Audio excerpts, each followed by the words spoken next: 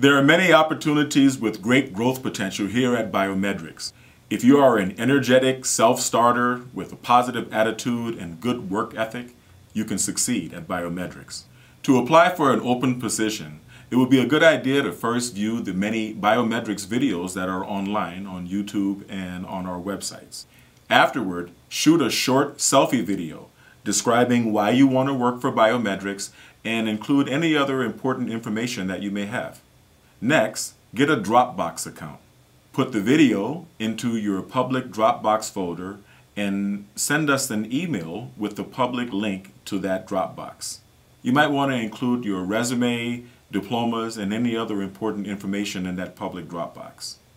This may seem like a lot of work, but it's really the only way that we know that you have the minimum amount of technical knowledge necessary to work at BiomedRx. Thank you for your interest in working for BiomedRx.